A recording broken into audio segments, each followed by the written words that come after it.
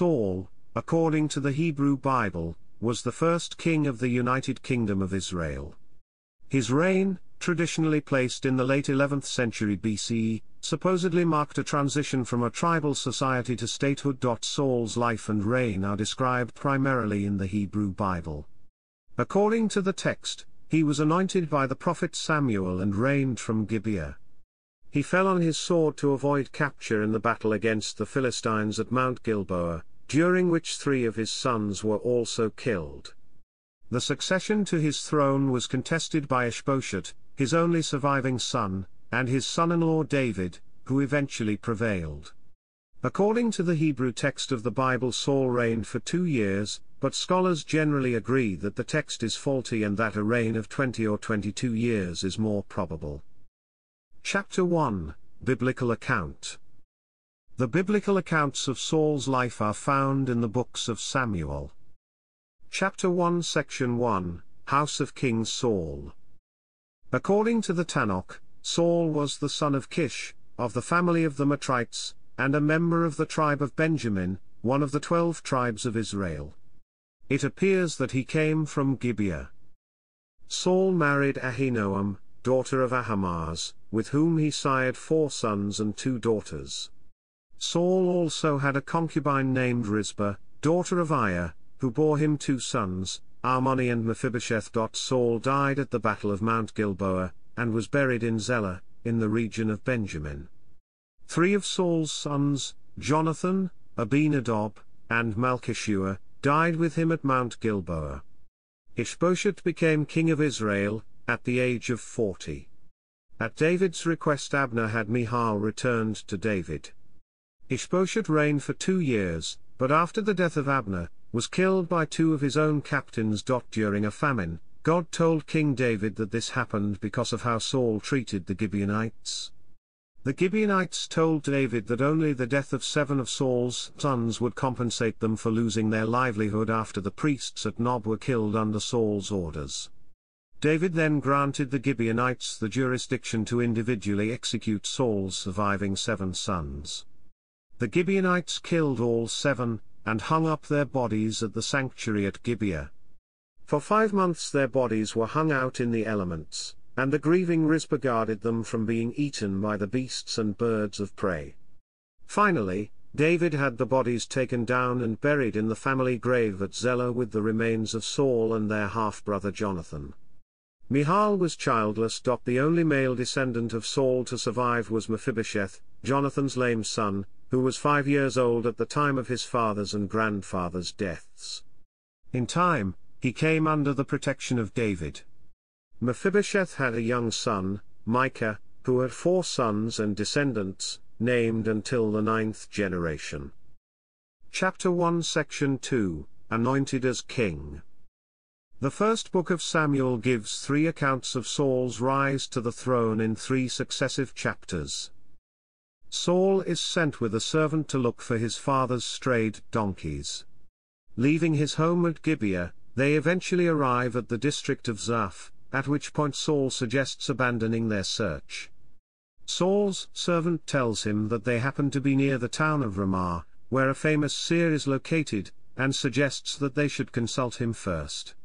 The seer offers hospitality to Saul and later anoints him in private. A popular movement having arisen to establish a centralized monarchy like other nations, Samuel assembles the people at Mizpah in Benjamin to appoint a king, fulfilling his previous promise to do so. Samuel organizes the people by tribe and by clan. Using the Urim and Thummim, he selects the tribe of Benjamin, from within the tribe selecting the clan of Matri, and from them selecting Saul.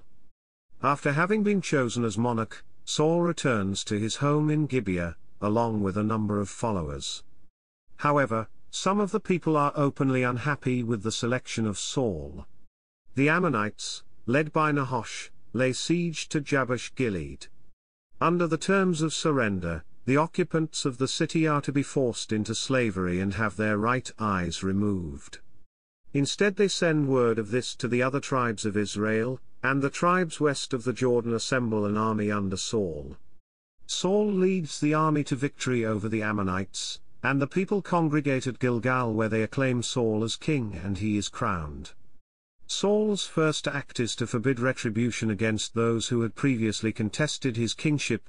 André Lemaire finds the third account probably the most reliable tradition. The pulpit commentary distinguishes between a private and a public selection process.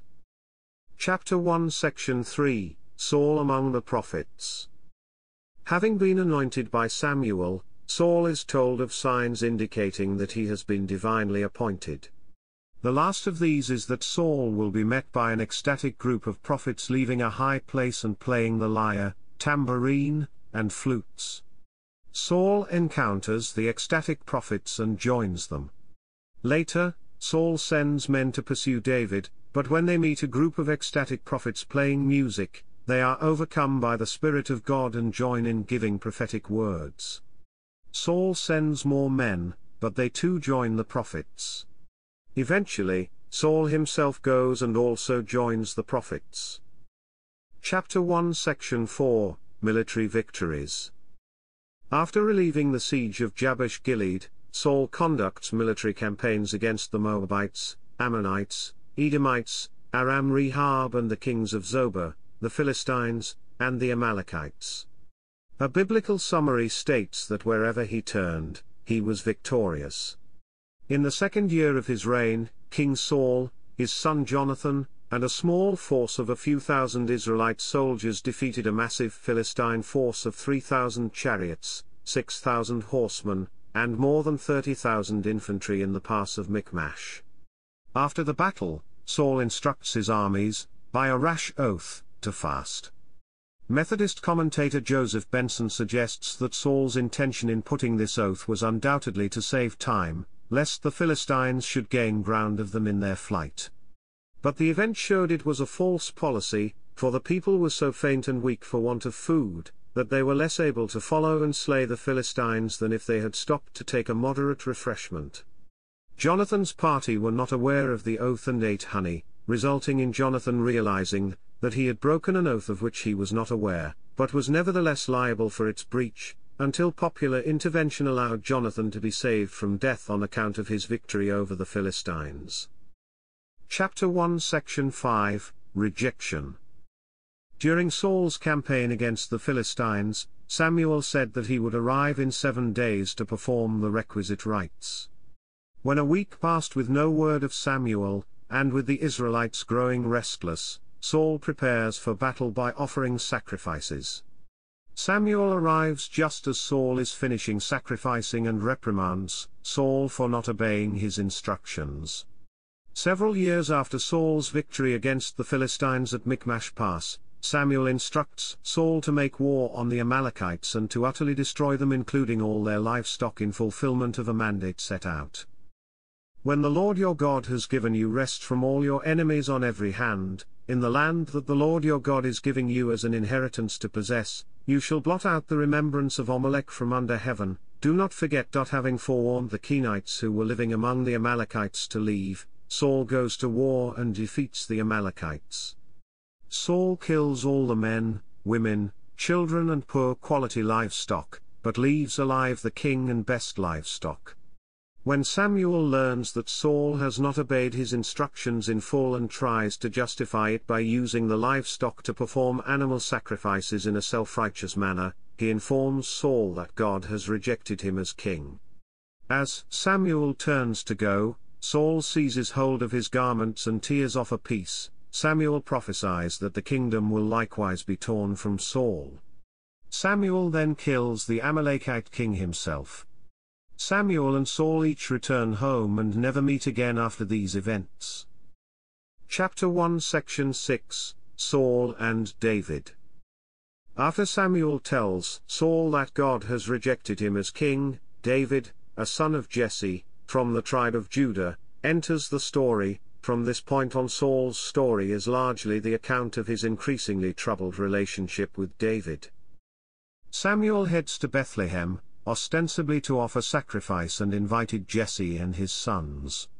Dining together, Jesse's sons are brought one by one to Samuel, each being rejected, at last, Jesse sends for David, the youngest, who is tending sheep. When brought to Samuel, David is anointed by him in front of his other brothers. In 1 Samuel 16:25 23, Saul is troubled by an evil spirit sent by God. He requests soothing music, and a servant recommends David the son of Jesse, who is renowned for his skills as a harpist and other talents a son of Jesse the Bethlehemite, who is skillful in playing, a mighty man of valor, a man of war, prudent in speech, and a handsome person, and the Lord is with him. When word of Saul's needs reaches Jesse, he sends David, who had been looking after Jesse's flock, with gifts as a tribute, and David is appointed as Saul's armor-bearer. With Jesse's permission he remains at court, playing the harp as needed to calm Saul during his troubled spells. The Philistines return with an army to attack Israel, and the Philistine and Israelite forces gather on opposite sides of a valley. The Philistines' champion Goliath issues a challenge for single combat, but none of the Israelite accept. David is described as a young shepherd who happens to be delivering food to his three eldest brothers in the army, and he hears Goliath's challenge. David speaks mockingly of the Philistines to some soldiers, his speech is overheard and reported to Saul, who summons David and appoints David as his champion. David easily defeats Goliath with a single shot from a sling. At the end of the passage, Saul asks his general, Abner, who David is. Saul offered his elder daughter Merab as a wife to the now popular David, after his victory over Goliath, but David demurred. David distinguishes himself in the Philistine wars. Upon David's return from battle, the women praise him in song. Saul has slain his thousands and David his tens of thousands implying that David is the greater warrior. Saul fears David's growing popularity and henceforth views him as a rival to the throne. Saul's son Jonathan and David become close friends. Jonathan recognizes David as the rightful king, and made a covenant with David, because he loved him as his own soul. Jonathan even gives David his military clothes, symbolizing David's position as successor to Saul. On two occasions, Saul threw a spear at David as he played the harp for Saul. David becomes increasingly successful and Saul becomes increasingly resentful. Now Saul actively plots against David. Saul offered his other daughter, Michal in marriage to David. David initially rejects this offer also, claiming he is too poor. Saul offers to accept a bride price of 100 Philistine foreskins, intending that David die in the attempt.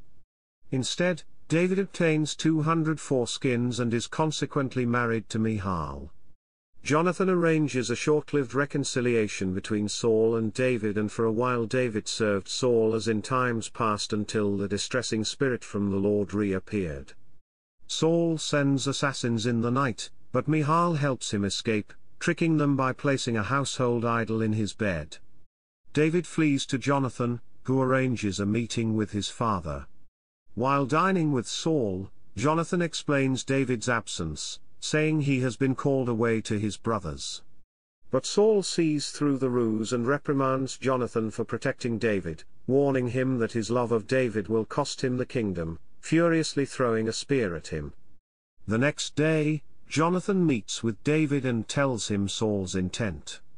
The two friends say their goodbyes, and David flees into the countryside. Saul later marries Michal to another man. Saul is later informed by his head shepherd, Doeg the Edomite, that high priest Ahimelech assisted David, giving him the sword of Goliath, which had been kept at the temple at Nob. Doeg kills Ahimelech and 85 other priests and Saul orders the death of the entire population of Nob. David had left Nob by this point and had amassed some 300 dissatisfied men, including some outlaws. With these men David rescues the town of Keilah from a Philistine attack. Saul realizes he could trap David and his men by laying the city to siege. David realizes that the citizens of Keilah will betray him to Saul. He flees to Ziph pursued by Saul. Saul hunts David in the vicinity of Ziph on two occasions. Some of the inhabitants of Ziph betray David's location to Saul, but David hears about it and flees with his men to Maon. Saul follows David, but is forced to break off pursuit when the Philistines invade. After dealing with that threat Saul tracks David to the caves at Engedi. As he searches the cave David manages to cut off a piece of Saul's robe without being discovered, yet David restrains his men from harming the king. David then leaves the cave, revealing himself to Saul, and gives a speech that persuades Saul to reconcile. On the second occasion, Saul returns to Ziph with his men. When David hears of this, he slips into Saul's camp by night, and again restrains his men from killing the king, instead he steals Saul's spear and water jug, leaving his own spear thrust into the ground by Saul's side. The next day, David reveals himself to Saul, showing the jug and spear as proof that he could have slain him. David then persuades Saul to reconcile with him, the two swear never to harm each other. After this they never see each other again. Chapter 1 Section 7 Battle of Gilboa and the Death of King Saul. The Philistines make war again, assembling at Shunem, and Saul leads his army to face them at Mount Gilboa. Before the battle he goes to consult a medium or witch at Endor. The medium, unaware of his identity, reminds him that the king has made witchcraft a capital offense, but he assures her that Saul will not harm her. She conjures the spirit of the prophet Samuel, who before his death had prophesied that he would lose the kingdom. Samuel tells him that God has fully rejected him, will no longer hear his prayers, has given the kingdom to David and that the next day he will lose both the battle and his life. Saul collapses in fear, and the medium restores him with food in anticipation of the next day's battle. The books of Samuel give conflicting accounts of Saul's death. In 1 Samuel, and in a parallel account in 1 Chronicles 10, the defeated Israelites flee from the enemy and Saul asks his armor-bearer to kill him, but the armor-bearer refuses, and so Saul falls upon his own sword. In 2 Samuel, an Amalekite tells David he found Saul leaning on his spear after the battle, and delivered the coup de grace. David has the Amalekite put to death for having killed the Lord's anointed king. The victorious Philistines recover Saul's body as well as those of his three sons who also died in the battle, decapitate them and display them on the wall of Beth Shan. They display Saul's armor in the temple of Ashtaroth. But at night the inhabitants of Jabesh Gilead retrieve the bodies for cremation and burial. Later on, David takes the bones of Saul and of his son Jonathan and buries them in Zelah, in the tomb of his father. The account in 1 Chronicles summarizes by stating that Saul died for his unfaithfulness which he had committed against the Lord, because he did not keep the word of the Lord, and also because he consulted a medium for guidance. Chapter 2 Biblical Criticism There are several textual or narrative issues in the text, including the aforementioned conflicting accounts of Saul's rise to kingship and his death, as well as plays on words, that biblical scholars have discussed. The birth narrative of the prophet Samuel is found at 1 Samuel 1 28. It describes how Samuel's mother Hannah requests a son from Yahweh, and dedicates the child to God at the shrine of Shiloh. The passage makes extensive play with the root elements of Saul's name, and ends with the phrase Who Saul a Yahweh, he is dedicated to Yahweh. Hannah names the resulting son Samuel, giving as her explanation, because from God I requested him. Samuel's name, however, can mean name of God, and the etymology and multiple references to the root of the name seems to fit Saul instead. The majority explanation for the discrepancy is that the narrative originally described the birth of Saul, and was given to Samuel in order to enhance the position of David and Samuel at the former king's expense. The Bible's tone with regard to Saul changes over the course of the narrative, especially around the passage where David appears, midway through 1 Samuel. Before, Saul is presented in positive terms, but afterward his mode of ecstatic prophecy is suddenly described as fits of madness, his errors and disobedience to Samuel's instructions are stressed and he becomes a paranoic.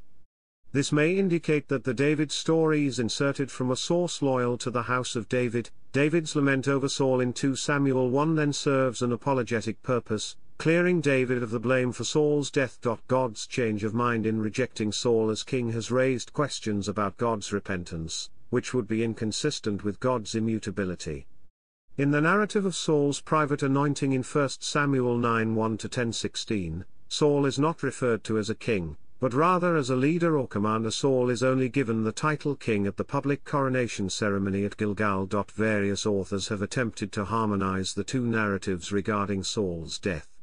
Josephus writes that Saul's attempted suicide was stalled because he was not able to run the sword through himself, and that he therefore asked the Amalekite to finish it. Later biblical criticism has posited that the story of Saul's death was redacted from various sources, although this view in turn has been criticized because it does not explain why the contradiction was left in by the redactors.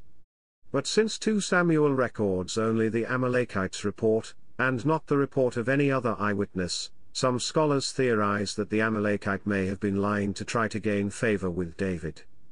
On this view, 1 Samuel records what actually happened, while 2 Samuel records what the Amalekite claimed happened. Chapter 3 Classical Rabbinical Views Two opposing views of Saul are found in classical rabbinical literature. One is based on the reverse logic that punishment is a proof of guilt, and therefore seeks to rob Saul of any halo which might surround him. Typically, this view is similar to the Republican source.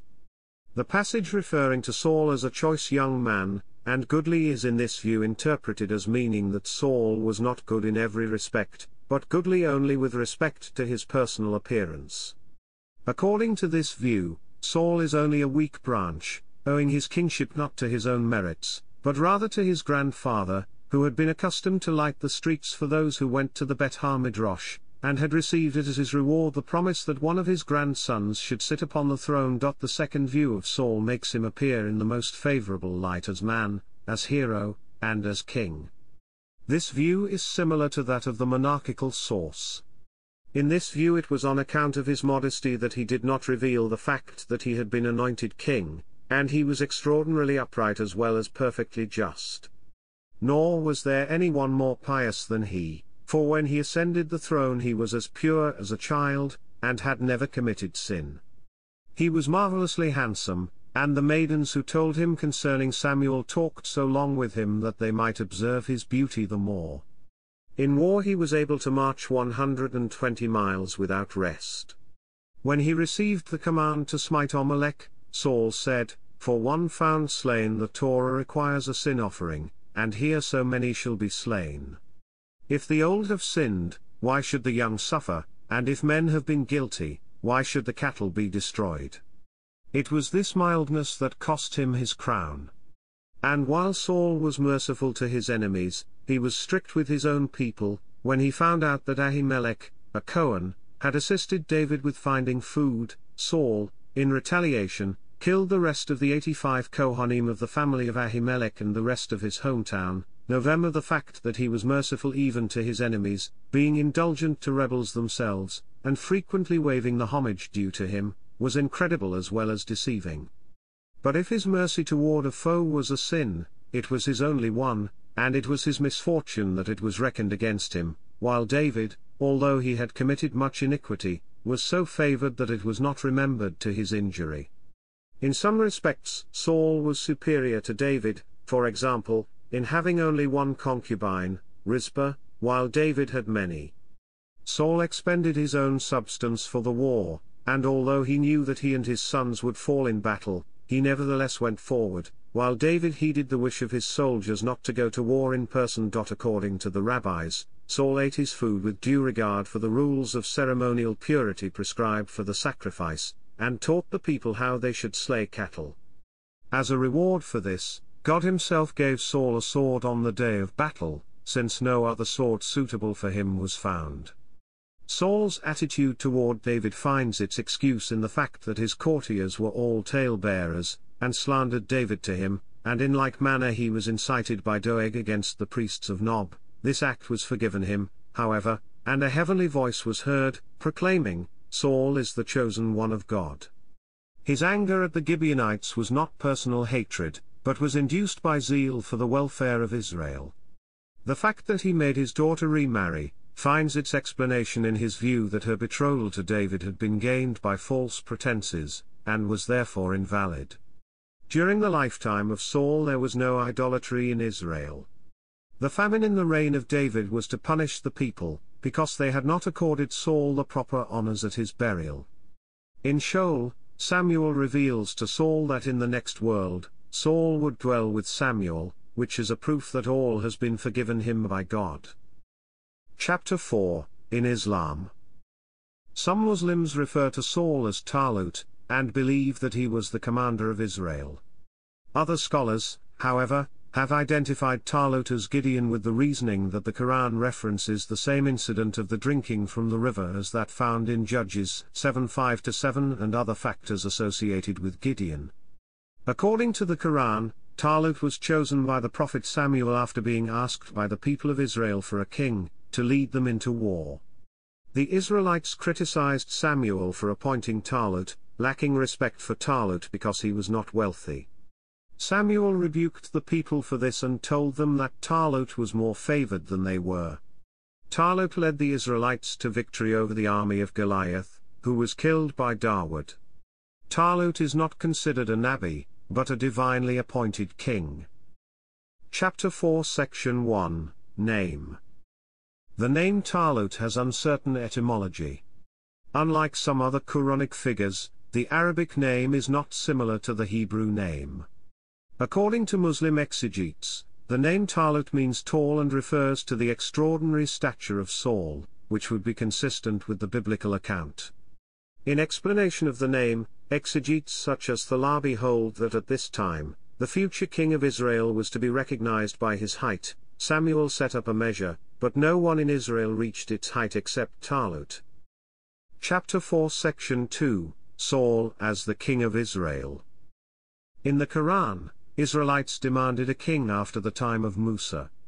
God appointed Talut as their king. Saul was distinguished by the greatness of his knowledge and of his physique, it was a sign of his role as king that God brought back the Ark of the Covenant for Israel. Talut tested his people at a river, whoever drank from it would not follow him in battle excepting one who takes in the hollow of his hand. Many drank but only the faithful ventured on. In the battle, however, David slew Goliath and was made the subsequent king of Israel. The Quranic account differs from the biblical account in that in the Bible the sacred ark was returned to Israel before Saul's accession, and the test by drinking water is made in the Hebrew Bible not by Saul but by Gideon. However, the story of Saul in 1 Samuel 14 has parallels to Quran 2 to 246 to 251, faithfully accounting for the sacred ark and the fasting test. Chapter 5 Historicity The historicity of Saul's kingdom is not universally accepted and there is insufficient extra-biblical evidence to verify if the biblical account reflects historical reality. The notion of a united monarchy of Israel and Judah is believed by most scholars to be a later ideological construct. Judah is thought, on the basis of archaeological evidence, to have emerged as an operational kingdom, no earlier than the 8th century BCE. Other scholars criticize this theory and state that a united monarchy did exist in the 10th century BC, although the biblical account probably contains exaggerations on the matter. Saul's kingdom was not very large. It probably included Mount Ephraim, Benjamin, and Gilead. He also exerted some influence in the northern mountains in Judah, and beyond the Jezreel Valley. His capital appears to have been essentially a military camp near Gibeah. Archaeology seems to confirm that until about 1000 BCE, the end of Iron Age I, Israelite society was essentially a society of farmers and stockbreeders without any truly centralized organization and administration. Chapter 6 Psychological Analyses Accounts of Saul's behavior have made him a popular subject for speculation among modern psychiatrists. George Stein views the passages depicting Saul's ecstatic episodes as suggesting that he may have suffered from mania. Martin Hirschman sees the story of Saul as illustrative of the role of stress as a factor in depression. Lyubov Ben Noun of Ben Gurion University of the Negev, believes that passages referring to King Saul's disturbed behavior indicate he was afflicted by a mental disorder, and lists a number of possible conditions. However, Christopher C. H. Cook of the Department of Theology and Religion, Durham University, UK recommends caution in offering any diagnoses in relation to people who lived millennia ago.